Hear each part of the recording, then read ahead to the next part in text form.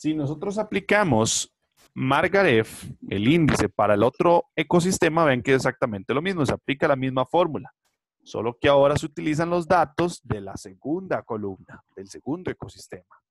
Vean aquí cómo ahora la S es 9, ¿lo ven aquí? ¿Sí? Sí, Vean cómo la N ahora aquí es 49, porque aquí es 49. Y el valor también da distinto. ¿Sí lo ven todos? Sí, profe. Ahora, vean que la fórmula es muy fácil aplicarla, pero lo importante aquí es qué nos dice ese valor. O sea, ok, yo les digo, Daisy, el índice de Margaret para el ecosistema 1 es 2,34. Y usted me dice, y sí, ¿y qué? ¿Y eso para qué me sirve? ¿Verdad?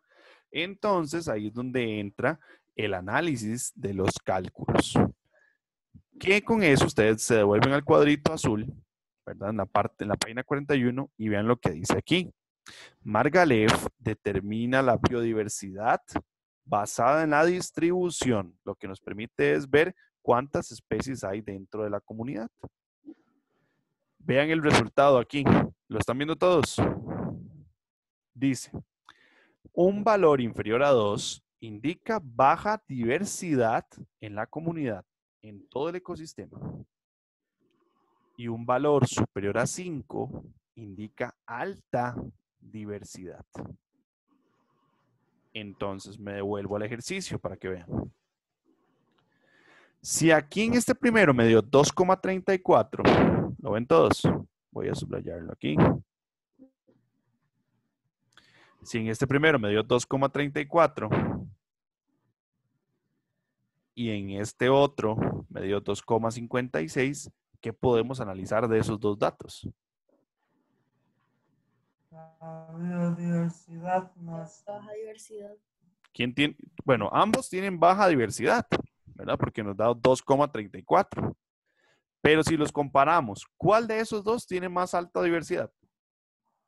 La primera. El La del primera. bosque. Exacto, el borde del bosque, porque vean que está dando un valor más alto, está dando 2,34 y en el potrero está dando 2,056. ¿Sí les queda eso claro, chicos? Necesito que les quede muy claro el análisis del dato. Que aplicar la fórmula es muy fácil. Las fórmulas yo se las doy, usted nada más la mete a la calculadora. Eso es todo. ¿Verdad? Para efectos de un examen, yo les doy la fórmula. Usted nada más la pone en la calco y dale igual. Pero lo que me interesa a mí es que usted sepa qué significa ese resultado. ¿Sí? Entonces, Margaret también le indica a usted que eh, el porcentaje de diversidad que existe. ¿Qué quiere decir? Que al, ser el borde del bosque y el potrero dos ecosistemas distintos, Margalef me indica que el borde del bosque tiene una más alta diversidad que el potrero. Sin embargo, ambas son bajitas.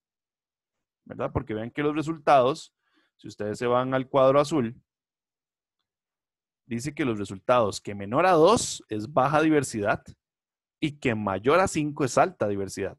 De 2 a 5 son ahí valores intermedios, valores bajitos y ahí más o menos, ¿verdad? ¿Sí les queda ese primero muy claro?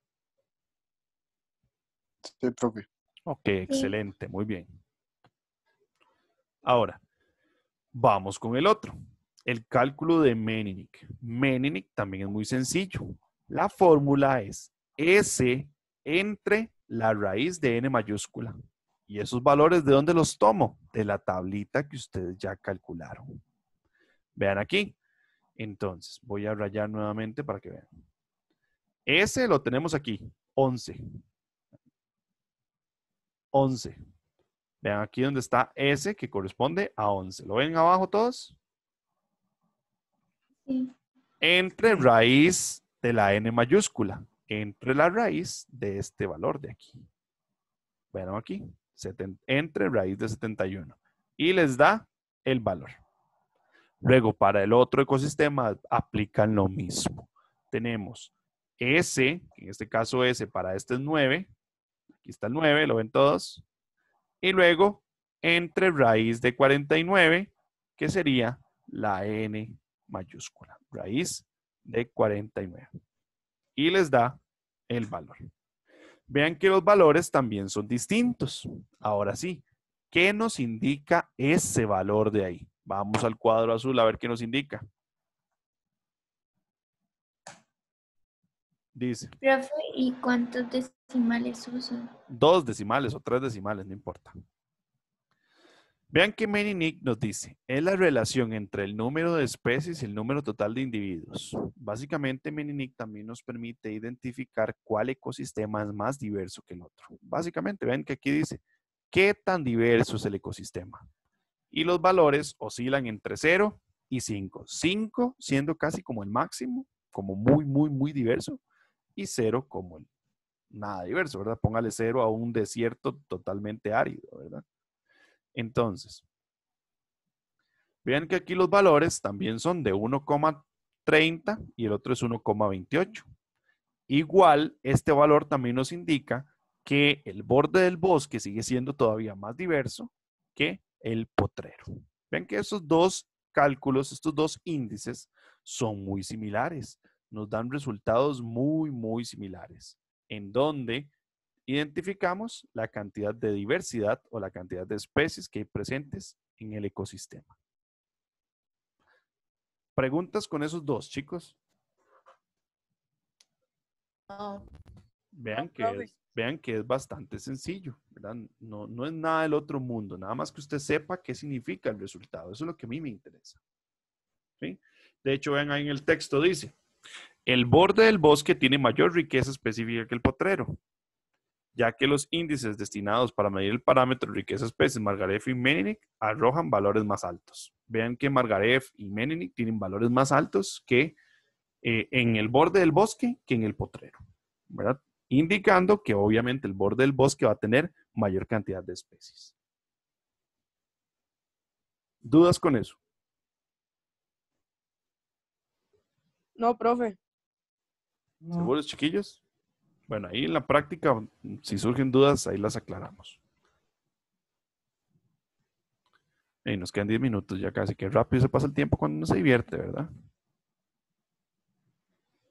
Vamos a ver estos otros tres cálculos que nos quedan. Se los voy a explicar, no nos va a dar chance de hacer la práctica, no importa. Nada más me mandan la foto del cuadro de la página 45 hecha. Nada más, eh, la 44, me mandan esa foto, nada más, porque no nos va a dar chance de hacer los cálculos para los otros. Entonces, este cálculo de Simpson, hágame el favor. Entonces solo te mandamos lo que hicimos hoy. Sí, sí, sí, sí, me mandan la 44. Este cuadrito de aquí sí lo ocupo hecho, porque lo acabamos de hacer todos juntos. Este que estoy proyectando ahí, el que acabamos de hacer, ese me lo mandan. Lo que nos falta es completar estos de abajo, estos de aquí y completar el análisis de resultados. Eso nos hace falta, eso lo hacemos, si no el próximo lunes, si Dios lo permite. Entonces, vamos a, primero, esta de aquí, chicos, necesito que hagamos una corrección. ¿Por qué? Porque estos datos que están aquí son, están malos. Borren todo esto que está aquí para explicárselos bien. Borren todo esto que está aquí. Necesito que lo borren, táchenlo, así como yo. Táchenlo, por favor. Porque Simpson no es así. Simpson es distinto. ¿Ya lo borraron? Sí. Bueno, nada más táchenlo y lo copian abajito. Voy a explicarles. Vean que Simpson en el cuadro azul dice, indica la dominancia de especies y por ende la disminución en la diversidad. O sea, ¿cuánto disminuye la diversidad? Dice, cuanto más cerca de cero es, indica que es más diverso. Ven que ese índice es contrario. Cuando más cerca cero es, más diverso tiene que ser. Entonces, vean la fórmula. La fórmula es muy sencilla. Es la sumatoria de los pi al cuadrado. Eso ya lo calculamos en el, en el cuadro. Ya está calculado.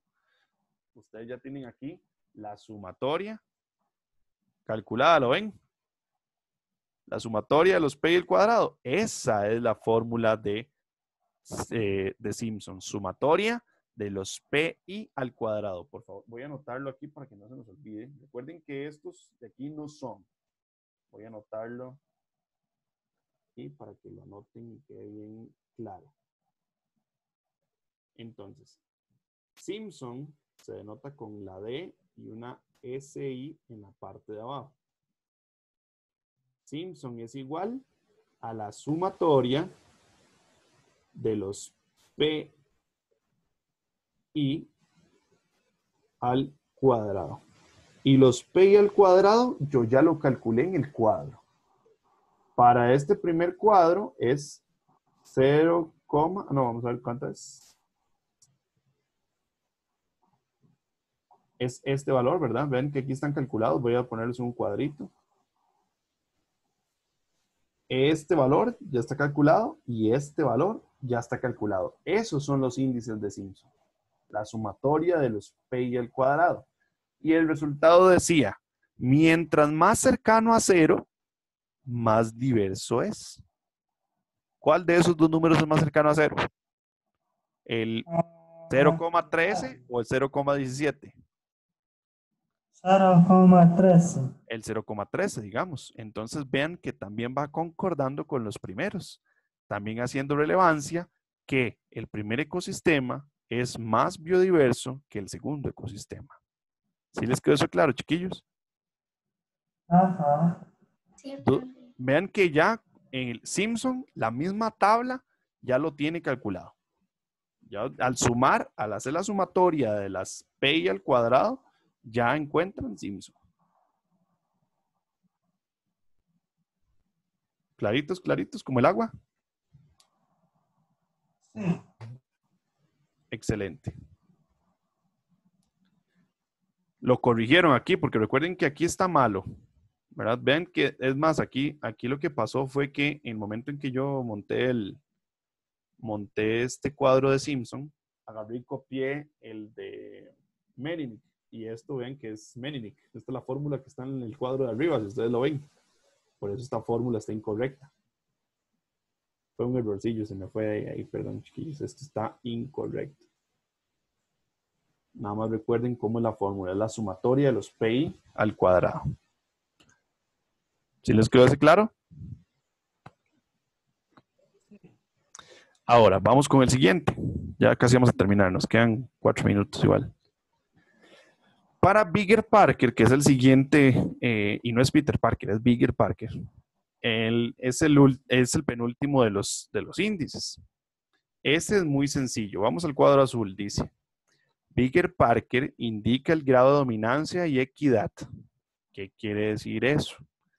Ese, ese valor nos indica qué tan dominante es una especie. Ojo, espero que lo estén anotando. ¿Qué tan dominante es una especie dentro del ecosistema? Por ejemplo, si nosotros los humanos, si tomamos el ecosistema de Colegio Miravalle, nosotros los humanos somos dominantes, obviamente. Entonces nuestro valor de Bigger Parker sería muy alto. ¿Sí? En un bosque puede ser que un árbol esté en mayor porcentaje. Entonces sea el que domina en el ecosistema. La fórmula de Bigger Parker es muy sencilla, ¿verdad? Solo que aquí tal vez les pueda enredar un poquito porque vienen las dos N en mayúscula, pero ya lo vamos a corregir. Vamos de nuevo aquí al cuadro. Vean que para el, es muy sencillo. Tienen que encontrar la N más grande que está en el cuadro de ustedes. Entonces, por ejemplo, en el borde del bosque, vamos aquí al cuadro, la N más grande es esta, la Ramphocellus costarricensis con 22. ¿Lo ven todos ahí? Esa es la N más grande. Entonces, vea aquí abajito que está puesta. 22 entre la N total entre 71. Que usted también la tiene calculada aquí en el cuadro. Entonces, básicamente es agarrar la N más grande de este primer ecosistema, sería 22 entre 71, y les va a dar, que de hecho da este mismo valor de aquí, y luego también lo aplican para el otro ecosistema. La n más grande, que sería esta 15, si no me equivoco, entre 49 y les va a dar este valor de ahí. Vean que Bigger Parker es nada más la dominancia, cómo una especie domina sobre las demás. Y ven que aquí están los valores ya calculados. De hecho, aquí faltó calcular el valor, vean. Se me chispoteó ahí, agréguenlo. Vamos a agregarlo aquí. Aquí entonces sería 15. 15 entre 49 nos da 0,306. Entonces, corríjanlo ahí, nada más completen ese ahí para que les quede listo. ¿Sí? ¿Qué les pareció ese? Fácil también, ¿verdad?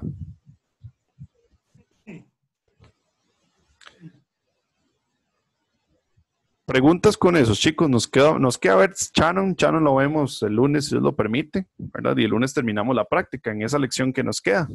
El lunes, no, el martes, nos vemos yo, los doy a ustedes. El martes en esa leccioncita explico Shannon, terminamos la práctica, me, me suben eh, la práctica y listo.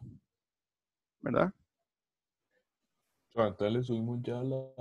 Súbanme ahorita, 44. ¿verdad? Ahora me suben la página, vamos a ver, 44. 44. Ese cuadro listo lo quiero ver, ¿verdad? ¿Por qué? Porque eso me dice que... Profe, Sí. Dígame. yo te lo mandé por mensajes porque si te lo mando, yo te lo mandé por mensajes porque si te lo paso por, por, por Classroom, las por próximas páginas no me las Classroom. dejan entregarme. Es que yo le Ah, habilito, yo le habilito otra la otra semana. Pero pásenmelo por Classroom, chicos, en serio. Vean qué complejo ha sido buscar el montón de mensajes. No, ha sido un Terrible. yo sí lo tengo que pasar por mensaje porque a mí no me a mí no me deja pasarlo por Classroom. Pero es que no me explico por qué no les deja.